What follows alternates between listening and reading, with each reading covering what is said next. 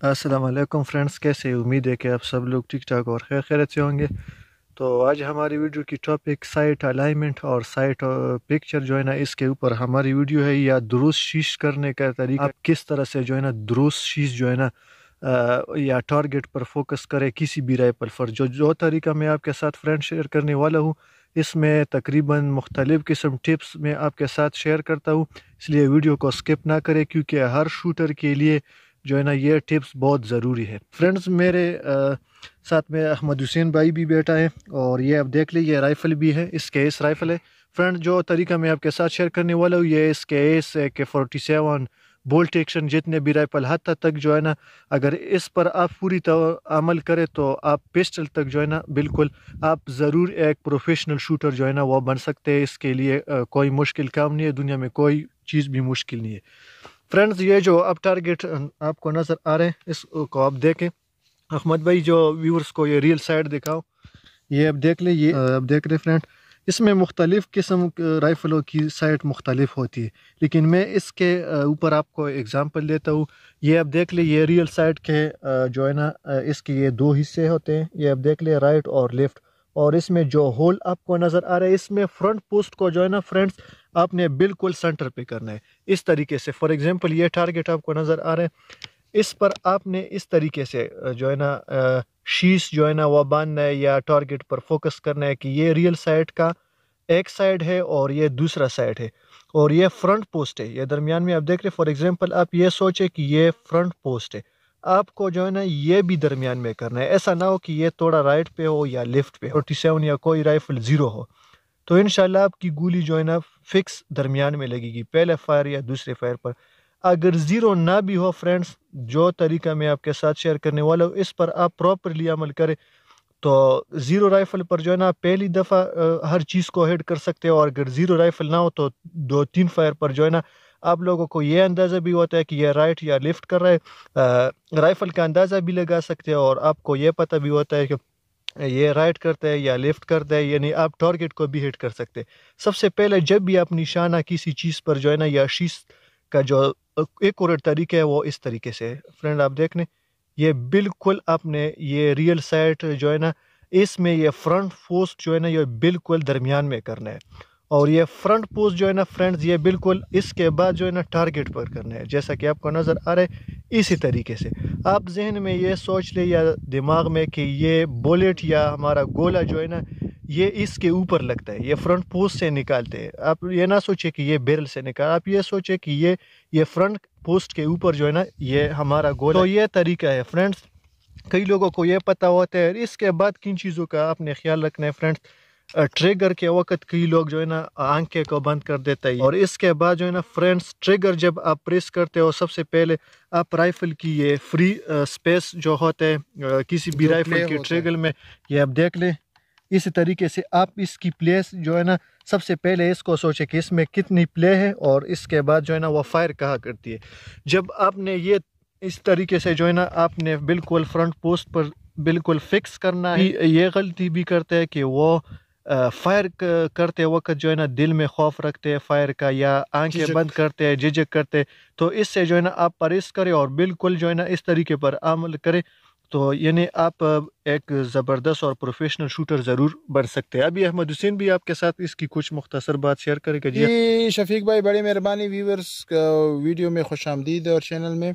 शफीक भाई ने बहुत बेहतरीन तरीके से आपको गाइड किया। ये हमने एक ई फॉर्म बनाया हुआ है। फ्रेंड सबसे पहले जो है निशानाबाजी में साइड पिक्चर और साइड अलाइनमेंट से भी पहले मैं आपको बंदूक पे या राइफल पे दिखाता हूँ कि जो चीज़ें या बुनियादी चीज़ें जो है वो सबसे पहले आर्मी ट्रेनिंग में भी सिखाते हैं कि मज़बूत पकड़। आपका राइफल आपके हाथ में ऐसा होना चाहिए कि वो फायर करते वक्त हिले नहीं। मज़बूत पकड़ के बाद जो है फ्रेंड वो दुरुस्त शीश या सही निशाना बांधना है। इसको रियर साइड कहते हैं और ये जो नज़र आ रहा है ये फ्रंट पोस्ट है। इस फ्रंट पोस्ट को इस रियर साइड में इस तरीके से आपने एडजस्ट करना है कि ये न ऊंचाई में और न ही साइड में आ, किसी निशाने के बिल्कुल बीच हो न वो साइड पे और न वो नीचे ऊपर हो। इसके लिए समझाने के लिए हमने ये ई साइड बनाया हुआ है ये देख ले। आप मिसाल के तौर पर इस प्लस पॉइंट पे आप निशाना लगा रहे तो आपका जो फ्रंट पोस्ट है ये आपका फ्रंट पोस्ट है ये रियर साइड के दो नॉजेस है। इस फ्रंट पोस्ट को इस तरह बराबर करना है कि एक साइड भी, भी फासला ज़्यादा ना हो। यहाँ पे रियर साइड में देखिए ये रियर साइड में ये फ्रंट पोस्ट इस तरह आपने करना है कि ना इस तरफ़ ज़्यादा फासला हो ना उस तरफ़। और ना ही ये ऊंचाई में न नीचे हो न ऊपर हो इस फ्रंट पोस्ट के नॉजेस में। ये ये फ्रंट पोस्ट जो है, ये रियर साइड के नॉजेस में। मिसाल के तौर पर आपको साइड पिक्चर यानी जो निशाना का तस्वीर है, वो इस तरह होना चाहिए। मैं आपको दिखाता हूँ इस तरह। ये देखे इसको इंग्लिश में कहते हैं फ्लैट टायर यानी पंक्चर टायर ये मैं हटाता हूँ, ये पूरा गोल टायर है। ये मैं फ्रंट साइड इस पे लाता हूँ तो ये आधा बिल्कुल आपकी नज़र से ओझल हो गया। तो इसको अंग्रेज़ी ज़ुबान टायर का अतलाह कहते हैं या टर्मिनोलॉजी कहते हैं। एक होता है जो सरप्लस राइफल है रशियन स्टाइल वो इस तरह बिल्कुल फ्रंट पोस्ट पे टारगेट को टच रखते हैं। इसको कहते हैं टारगेट को लॉलीपॉप बनाना। यानी ये इसका लॉलीपॉप है और ये फ्रंट पोस्ट उसका जो नीचे जो लगा होता है स्टिक ये स्टिक हो गया। तो या आपने जो फ्रंट्स जो पुराने राइफल है बोल्ट एक्शन मोजन नगट वगैरह या आपने उससे शूटिंग करनी है तो इसको बिल्कुल आपने लॉलीपॉप करना है। अगर पिस्टल वगैरह से करना हो तो आपने इसको फ्लैट टायर बनाना है पंक्चर टायर इनशाला आप लोगों को इस तरह समझ आया होगा कि ये किस तरह आपने साइड पिक्चर और साइड अलाइनमेंट करनी है। फिर ये जो साइड पिक्चर आपको नज़र आ रहा है, इसी तरह आपने इसको अलाइनमेंट करना अलाइनमेंट कहते हैं, यानी इसकी दुरुस्तगी करना है रियर साइड में और इस फ्रंट पोस्ट में। इसी पिक्चर को इस तरह आपको नज़र आना चाहिए। बिल्कुल फायर करते वक्त भी ये जो निशाना है, आपको इसी अंदाज में नज़र आना चाहिए फ्रेंड और आखिरी चीज़ में आपको बता दूँ, जो है वो ट्रिगर है। ये जो आपको उंगली का पोर नज़र आ रहा है, जिसको अंग्रेज़ी में क्रीज कहते हैं, पोर कहते हैं, हमारे अपने इस्तेलाह में इसको उंगली का बंद कहते हैं। ये ट्रिगर पे इस तरह रखना है, अगर कैमरा दिखा सके, कि ये पोर जो है, ये ट्रिगर से बाहर हो। ज़्यादातर लोग इसको इस तरह उंगली बिल्कुल इस तरफ़ ले आते हैं। इससे जो है, वह फायर करते वक्त राइफल लेफ़्ट की तरफ़ झटका लगाता है। और अगर सिर्फ़ आप ज़्यादा, बहुत ज़्यादा राइट की तरफ़ उंगली रखी, यानी पोर बिल्कुल बाहर हो इस तरह तो फिर आपका राइफल फायर करते वक्त राइट की तरफ़ झटका लेगा।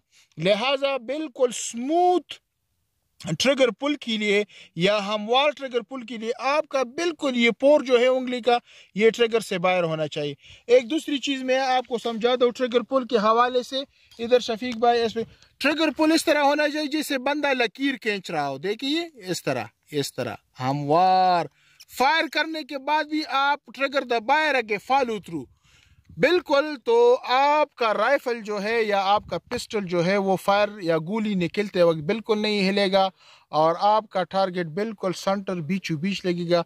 उम्मीद है कि ये मेरा छोटा सा लेक्चर आपको पसंद आया होगा और आपको समझ आया होगा। बाकी इनशाला शफीक भाई जो है वो हम्म, आपको आगे गाइड कर लेंगे और वीडियो के एंड तक ले जाएँगे। बड़ी मेरे फ्रेंड्स अहमद हुसैन भाई ने बहुत आपको समझाई है। अब देख ले फ्रेंड्स, आजकल जो ये नए नाइन एम डिज़ाइन पिस्टल होते हैं, इसके ऊपर जो है ना ये थ्री डॉट साइड होते हैं। शायद आप लोगों ने देखा होगा, ये बिल्कुल ये थ्री डॉट साइड का जो है ना इसी तरीके से आपने शूटिंग करना है। लेकिन ए के फोर्टी सेवन में ये थ्री डॉट साइड होता नहीं, लेकिन अब जहन में ये सोच ले कि ये बिल्कुल ए के फोर्टी सेवन या कोई भी राइफल जो है ना, सबसे पहले अगर आपको पता है कि ये ज़ीरो है तो ठीक है। अगर ज़ीरो ना भी हो, इस तरीके पर आप फायर करें, दो तीन फायर करें तो आप लोगों को भी साइड राइट और लेफ़्ट का भी पता होगा कि ये राइफल या राइट कर रहा है या लेफ़्ट कर रहा है।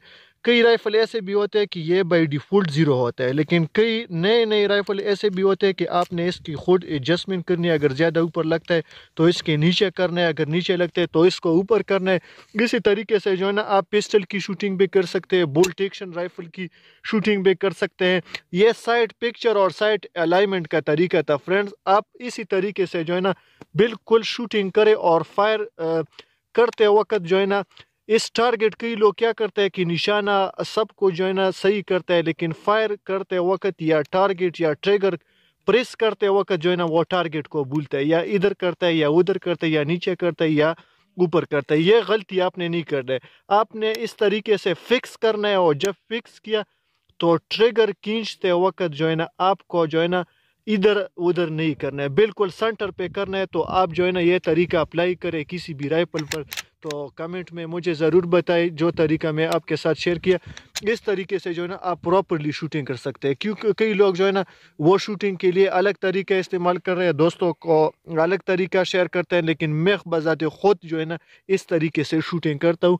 तो उम्मीद है दोस्तों कि आज की हमारी वीडियो आपको अच्छी लगी। वीडियो को लाइक और शेयर करें। मिलते हैं एक न्यू वीडियो में, तब तक के लिए हाफिज़।